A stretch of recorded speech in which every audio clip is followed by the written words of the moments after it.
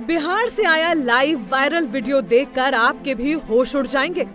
बिहार की double engine सरकार में कैसे एक आम आदमी का जीना मुश्किल हो रहा है? कैसे कदम कदम पर रिश्वत ने आम आदमी का जीना मुहाल कर दिया है? ये वीडियो इस बात की तस्दीक करता है।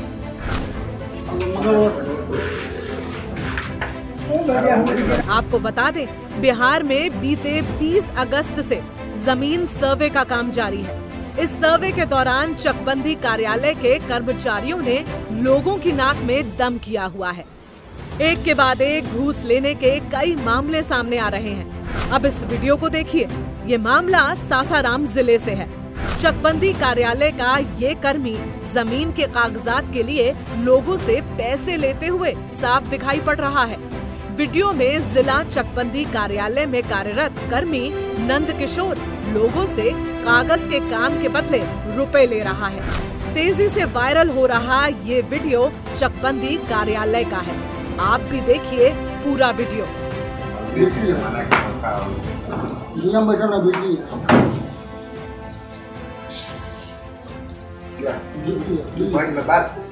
धन्यवाद धन्यवाद धन्यवाद।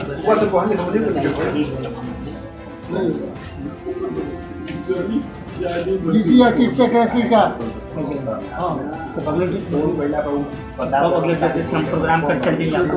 तो हाँ, कमाइए आपका- कमाएँगे कहा मेहनत करेंगे बारह घंटा गाएँगे झाल बजा के हारमोनिया बजा के सब गाएँगे तो झाले हैं।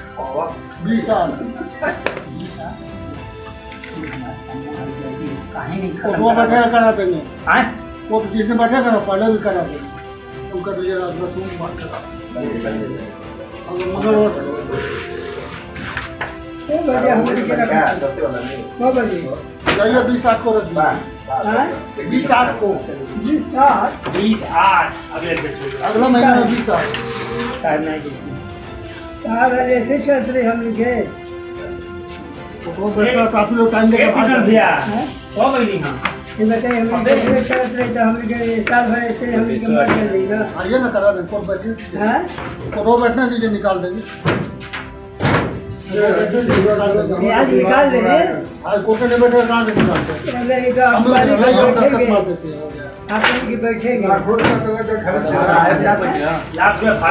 लोगों का कहना है कि जब से ज़मीन का सर्वे का काम शुरू हुआ उसके बाद भूमि संबंधी सभी विभागों में ये खेल चल रहा है।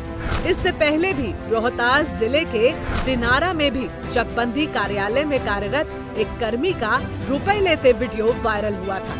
डबल इंजन सरकार जहाँ ईमानदारी का ढोल पीटती है और विकास की बात करती है वहीं इस तरह के वीडियो उसकी असलियत खोल जाते हैं और एहसास दिलाते हैं कि बिहार को इस झंझट से मुक्ति दिलाने के लिए तेजस्वी का आना ज़रूरी है।